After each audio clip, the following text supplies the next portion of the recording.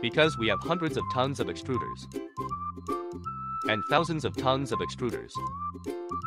As different extruded profiles for different demands. We buy aluminum ingots by ourselves. We cast aluminum rods of different sizes. And then proceed to extrusion production. This is our casting workshop.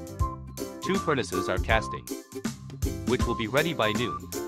The cast aluminum rods will be placed in this field, where covered with different sizes aluminum rods, waiting for extrusion. That field was placed of little aluminum rods, which suitable for hundreds of tons of extruder. Look at this big aluminum rod. As big as me. Suitable for thousands of tons of extruders. All these aluminum rods are GB standard.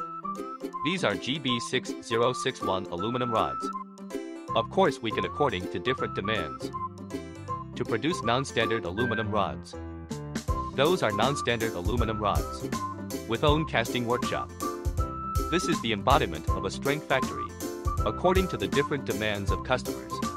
To product different sizes of aluminum rods.